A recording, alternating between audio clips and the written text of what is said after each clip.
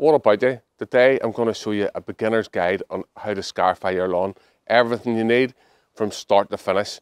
We're going to talk about the tools that you need, how to identify thatch and moss, and I'm going to show you three different ways to kill the moss in your lawn. Let's go.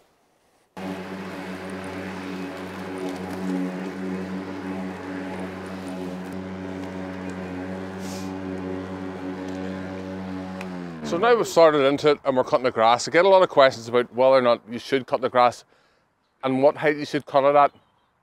Now, depending on what you're trying to achieve, if you're thinking about overseeding your lawn, then it might be helpful scalping the grass away down.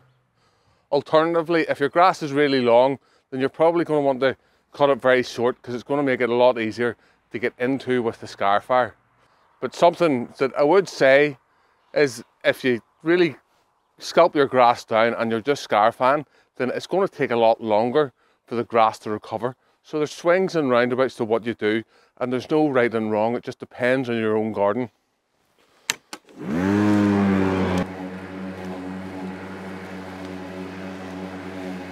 To explain to you why with Scarify, I've pulled this core out of the lawn.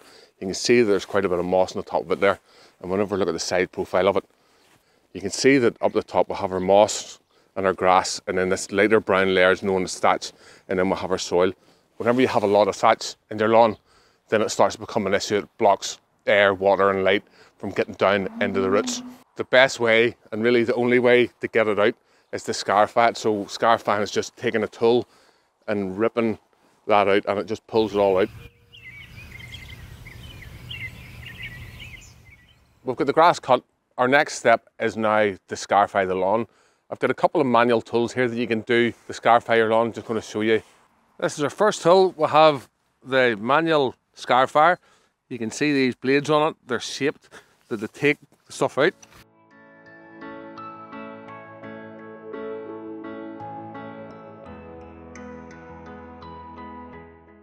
You can see the moss and the thatch that's been pulled out in that very short space of time.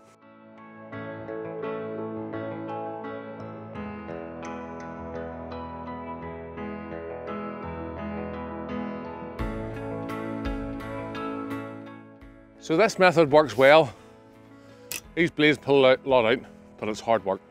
If you don't have that scarifying rig that I just showed you, you might have one of these here in your set. Now these are an old fashioned type of rake, a bulldog metal rake, and the teeth on it are really good. That spring tine rake, really good for ripping out the moss. We'll have a go with this now.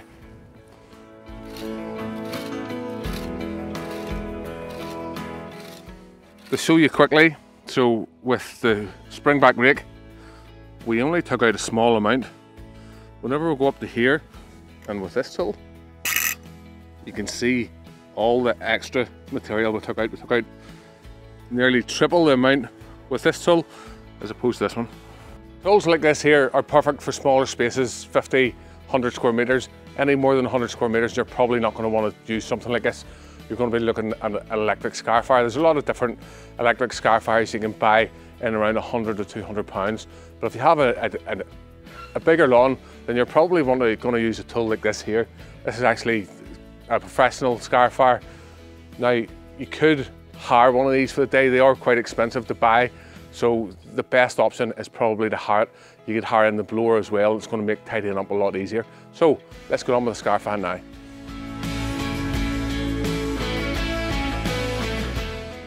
What height do you set the scarifier at. You just want the blades to tickle the surface. You don't want the blades to go into the soil and you want them to go into the grass. You're better to set the scarifier to a high height and bring it down slowly and just test it out yourself. You can always run over it again. What you don't want to do is you don't want to put holes in your lawn. So if this is your first time scarifying, just set the scarifier to a high height, do a couple of passes and then put it down and over time you'll get the experience behind what you need to be taken out and not, but you're better taking out less. And that way the lawn's going to recover faster than putting a lot of holes into your lawn and perhaps damaging your equipment too.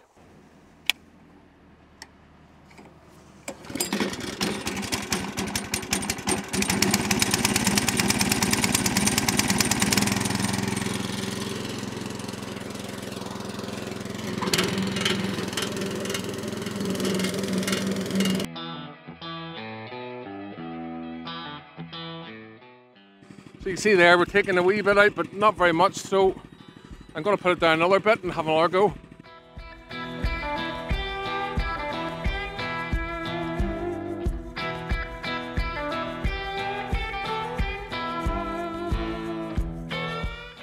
There you go, we've done one pass. Now, if you had an electric Scarifier, chances are you would want to rake all this up before you went over it again. As that is a petrol powered Scarifier and it's very powerful, I'm just going to put it down a bit in height and I'm going to go over it again and do it a second time. Let's do that now. Now you got the lawn single scarified, now we're going to do it double. To explain what I mean, we'll go one direction then we'll go the other. So if you if you bring your lines, your second line in line with that one, you're going to take out the least amount. Whenever you start going across your cut, so if you're going perpendicular, you're going to take the most out. The closer you bring those lines together, the less, less harsh you are on the turf. So that's the hardest. And going straight up and down along the same lines, that's the least amount you're going to take out. But whenever you bring those lines together, then you start to be harder on your turf.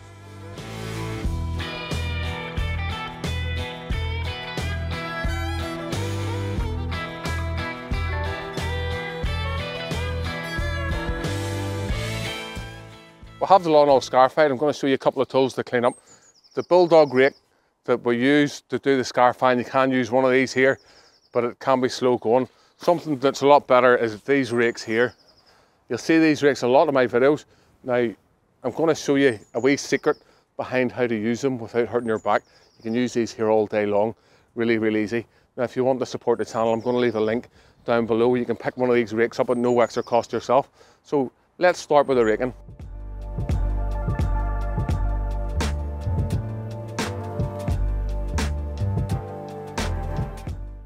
So the secret to using these rakes is to keep your back straight and keep this upright.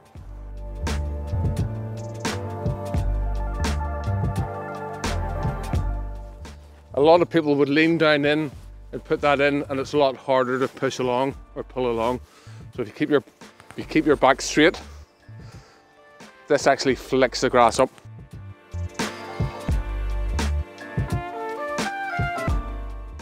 Now we've got all this lifted, we're going to go up into the workshop and have a chat about the best way to kill moss in your lawn. I'm going to show you three different ways. Let's go now.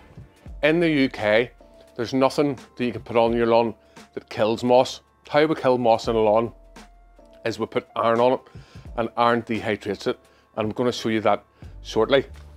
So if you're using an, electric scarifier or if you're using a manual rake, you might want to put the iron on beforehand and it sits in the surface and it's going to burn the surface.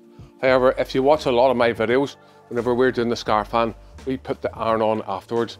And why that is, because with the professional tools, we're clearing, we're clearing that moss out of the lawn.